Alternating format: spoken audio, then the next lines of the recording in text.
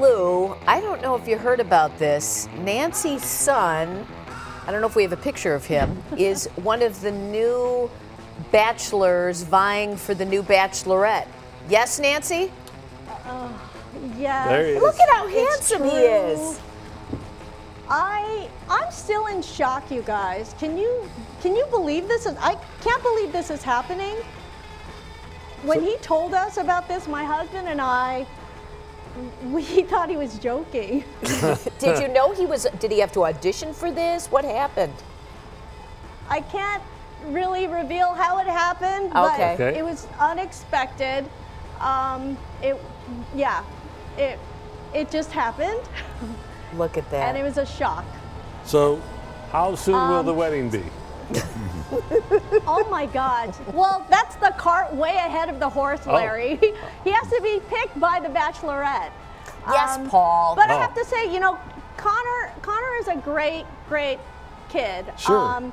he was on, you know, he graduated from Barrington High School. He went off to college. He was on track. He's been climbing the corporate ladder out west. And then now this. Right. Um, but he has been so focused on his career that he hasn't focused on his love life as much. So Yeah. now it's going to be very public and it's going to be Right. insane. you know so, what? what's the worst case scenario for you as his mother? Right.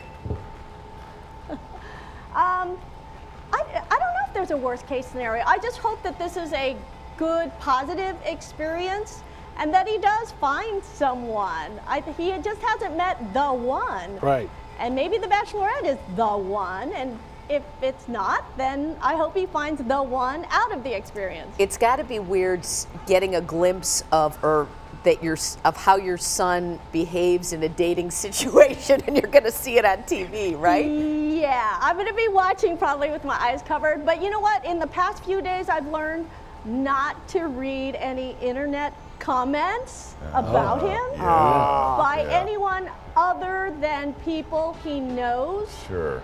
because it gets really ugly out there. And Oh, I have yeah. to like keep in mind something that he has told us is that people who make those comments, it says more about those people Right. than the people they're commenting about. Uh-huh. Right. Well, if you're looking for a reliable, lifelong relationship, you should look on television because that's where the stable people really live.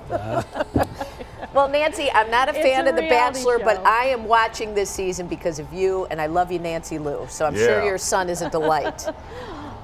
I'm watching for the first time too. Oh. All All right. right. Good to see you, Nance. Thanks, Nancy. Quit being so mean to people. Yeah, I think Yeah. she's going to start drinking here pretty soon. Yeah.